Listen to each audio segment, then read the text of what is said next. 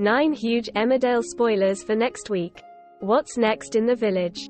Next week on Emmerdale, Belle's ordeal continues as Tom finds out that she's pregnant. Elsewhere, Ethan's funeral takes place in the village, and Vinny and Gabby continue to grow closer. Here's a full collection of nine big moments coming up. 1. Belle discovers that she's pregnant. Belle worries when she finds out that she's pregnant, unsure whether starting a family with Tom is the right thing to do after his abusive behavior. Needing to hide her pregnancy symptoms, Belle pretends to be ill in front of Tom and Mandy. She later heads to the GP surgery and speaks to Wendy, but she feels apprehensive about her options.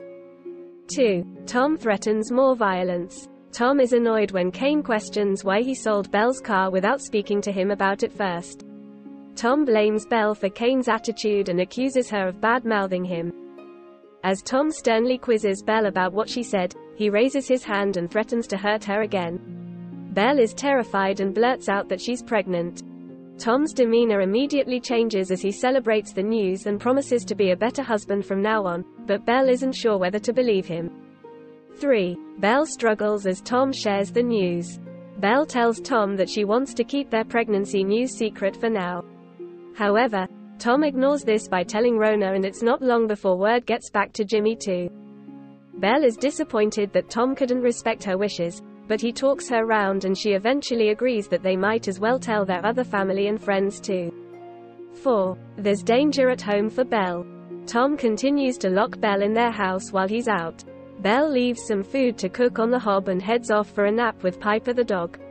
A sleeping Belle is oblivious as a tea towel starts to singe in the kitchen, creating a fire risk.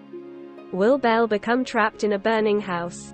5. Vinny and Gabby kiss. Vinny and Gabby spend more time together and they end up sharing a kiss.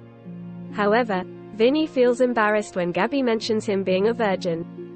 Gabby suggests they could change that, but Vinny is nervous and calls things off with her. 6. Ruby supports Manpreet and Charles.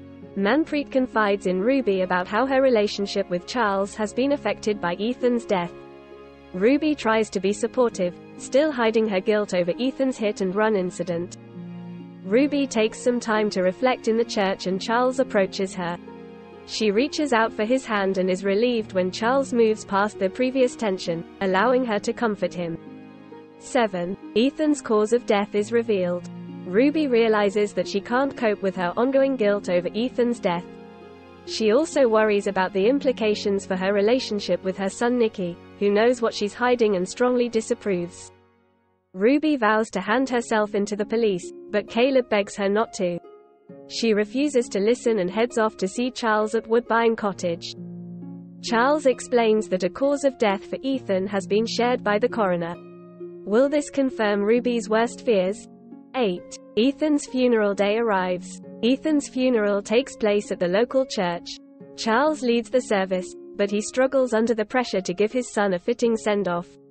Later, Charles gets drunk at the Woolpack and upsets Manpreet by asking her to leave. 9. Ella's story continues. The dark story exploring Ella's past continues as Liam struggles to process the revelations that she's a killer. Liam feels torn as he'd genuinely fallen for Ella before he knew the truth. What does the future hold for them? Các bạn vừa theo dõi một sản phẩm của Solar. Xin chào và hẹn gặp lại các bạn ở những video